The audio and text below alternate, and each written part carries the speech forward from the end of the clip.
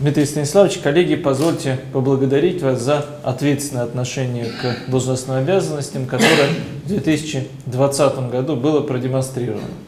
Благодаря взаимодействию Управления Федеральной службы судебных приставов по Камчатскому краю Чукотскому автономному округу вместе с правительством Камчатского края нам удалось в 2020 году не допустить серьезных происшествий, которые повлекли бы причинение вреда здоровью участников судебных процессов, работников, посетителей судов, участников мировых судей и обеспечить э, реализацию тех задач, которые поставлены по линии службы судебных приставов вашему подразделению. В целом, по статистическим показателям деятельности мы видим позитивную динамику основных наиболее значимых показателей, которые связаны с обеспечением и реализацией решений судебных органов власти и других ключевых показателей деятельности службы.